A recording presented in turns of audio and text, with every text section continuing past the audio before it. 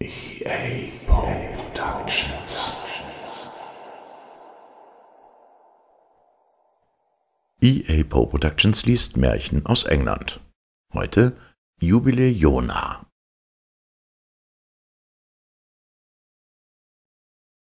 Jubile Jona war ein freundlicher, guter, netter Kerl, der schwer schuftete. Er wohnte auf Goathurst zu. Seine Mutter war so froh gewesen, dass sie einen Jungen hatte, da hatte sie ihn Jubile genannt. Aber sein Papst meinte, das würde sich wahrscheinlich als Unglück erweisen und ließ ihn außerdem noch Jona nennen. Einfach so, um es wieder auf gleich zu bringen. Na, dieser Jubile Jona da, der hatte einen grauen Esel. Sein Papst hatte seinen eigenen Esel Salvation genannt. Er war sehr strenggläubig. Und Jubile Jona machte also das Gleiche. Aber weil seiner eine Eselin war, verkürzte er das bisschen in Sally. Einmal mussten sie nun auf dem flachen Karren eine Fuhre den ganzen Weg hinüber nach Ashpriors schaffen. Es war eine tüchtige Fuhre, aber Sally war stark und gutwillig, und die Arbeit würde was einbringen. Nun hieß es in jenen Tagen, dass sich die Hexen drunten in Hester kaum treffen.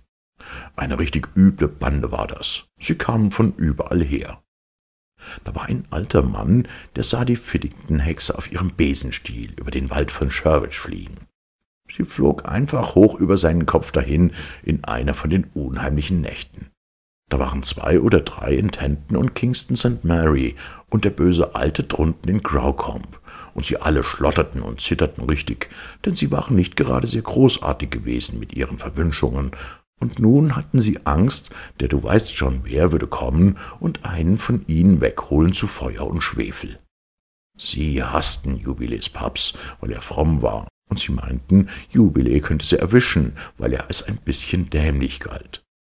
Sie selber waren ja alle so gescheit. Und das gefiele dann dem Du weißt schon wer und würde ihn vom Höllenfeuer ablenken. Und so machten sie sich dran.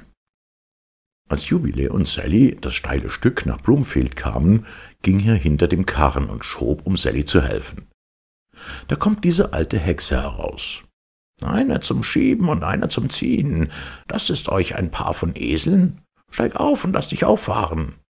Jubile, der sagte kein Wort darauf, aber dafür zeigte ihr Sally.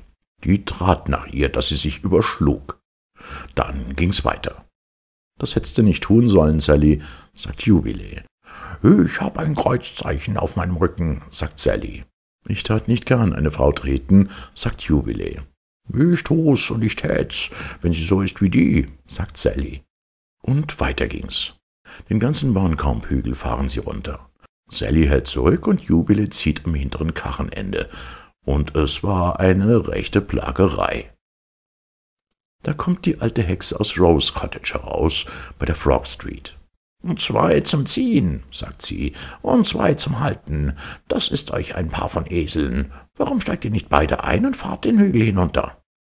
Jubile, der sagte gar nichts, aber Sally, die verpasste ihr einen Tritt. Der drehte die alte Hexe um und um.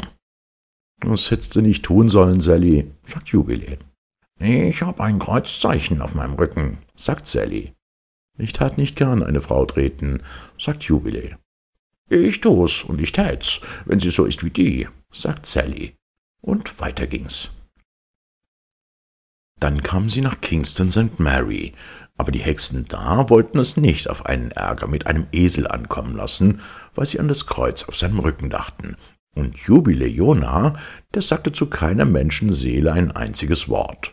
Und so ließen sie sie weiter durchfahren. Und so war es das letzte Wegstück, bis sie an Sandhill vorbeikamen, und da stand der böse Alte von Graucombe mitten im Weg, und bevor Sally wusste, was er vorhatte, schaute er ihr in die Augen und brachte sie zum Stehen, wo sie gerade war.